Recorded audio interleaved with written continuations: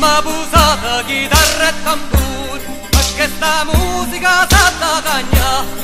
Ma brigante facimma paura, e qua scuppetta volimma cantare, e qua scuppetta volimma Dovrà assolutamente rappresentare una svolta, una svolta in, in tanti fatti, a partire dai nostri rapporti interpersonali che in questi anni si sono contraddistinti sicuramente in maniera negativa. Bene, io sono felicissimo di essere oggi, io come Movimento Due Siciliano, di essere qui a Gaeta, perché sono convinto che finalmente parte di qua un'azione forte. Non voglio usare la parola unitaria, è troppo difficile, troppo complicata, troppo impegnativa, ma qualcosa di questo genere. Perché ci credo?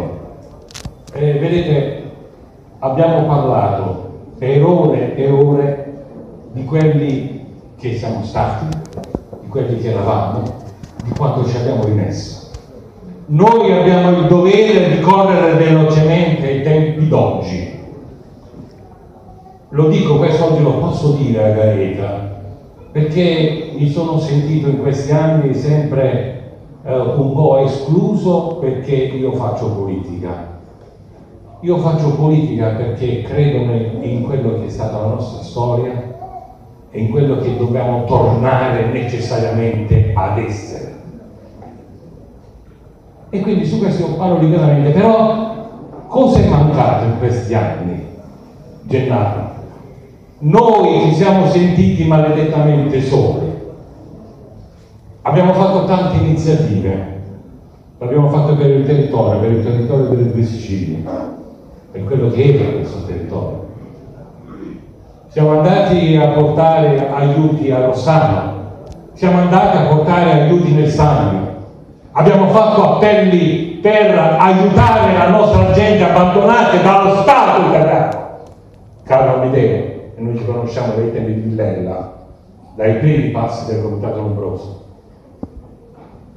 E abbiamo fatto quello che abbiamo potuto fare. Ci sentiamo soli oggi. Noi del Movimento Tuo Siciliano lo denunciamo questo, ma perché lo denunciamo? Con lo spirito non di polemizzare, ma con un nuovo spirito costruttivo che questa gaeta ci sta imponendo. Noi trattiamo tutto, dalla cultura per quelli che sono i nostri modestissimi mezzi, ai fatti quotidiani. Stiamo cercando di lottare per la riapertura del bulo di Molfetta, ad esempio. Cos'è il bulo di Molfetta? Quanti di voi sanno cosa c'è nel bulo di Molfetta? C'è la litiera borbonica. Adesso non devo dilungarmi, lo scoprirete con il tempo, perché adesso sul bulo di Molfetta vorrei tanto il tuo aiuto, il vostro aiuto, perché deve riaprire un altro, un altro sito storico che è importantissimo soprattutto nella terra di Puglia, che, nella quale abbiamo gravi difficoltà, non solo perché dobbiamo combattere col sistema italiano, ma perché c'è quell'ombra di murate che ci troviamo ovunque. Stiamo combattendo per l'acqua del Pertusillo che ci sta avvelenando milioni di pugliesi e di lucani. Anche su questo ci sentiamo soli.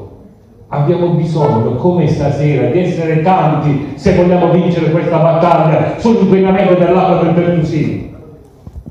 E permettetemi di, di dire, io non voglio ricordare soltanto i morti del passato, quelli che ci hanno rimesso tanto per noi. Dobbiamo ricordare quello che ci sta succedendo adesso, i morti della terra dei fuochi, i morti dell'Ilva di Taranto e i morti dell'acqua del Pertusillo.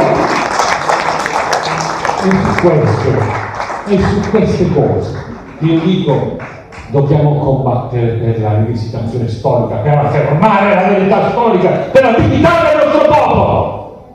Ma dobbiamo lottare per il nostro popolo anche allo stato attuale. Io non credo più all'Italia, ma non fa nessuna differenza se devo combattere con Amedeo Colacino che la pensa diversamente da me.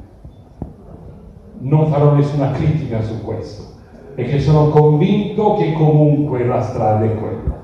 Io chiudo questo breve intervento ricordando anch'io Nicola Zitara, è stato un mio maestro anche lui, ma mi piace ricordarlo con una parola che mi diceva sempre nelle orecchie e che all'epoca non capivo. Rivoluzione!